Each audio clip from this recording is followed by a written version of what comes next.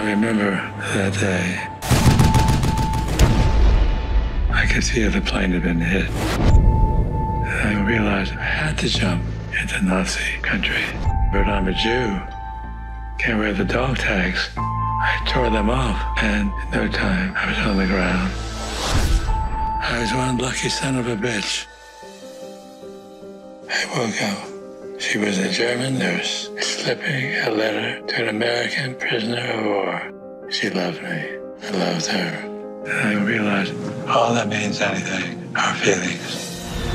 After suffering the scourge of war, Bernard Bail set his compass on a different course to become a doctor. My good friend said, You ought to be a psychoanalyst. I didn't really know what that meant. Though Freud's theory reigned supreme, Bail found it inadequate for his patient's analysis.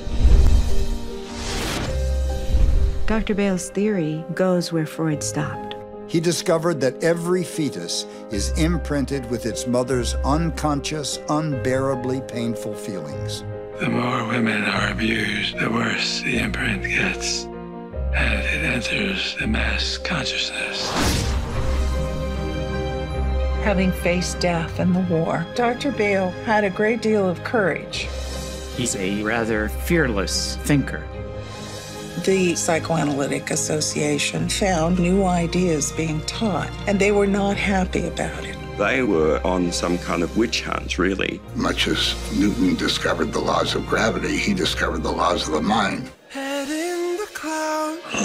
Love is the only thing that works, and women must have a place at the table if there's to be peace. I'll send you all I got. The woman is the main act, and that's how it should be. The man, he's only an appendage.